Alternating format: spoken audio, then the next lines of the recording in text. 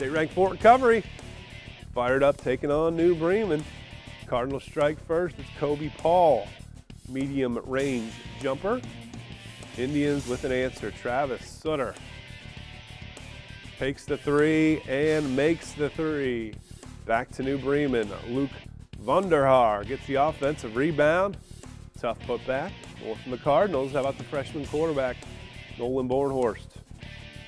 Showing that 16 foot range. Too much from Fort Recovery, even on the road. Jason Reesner, the steal.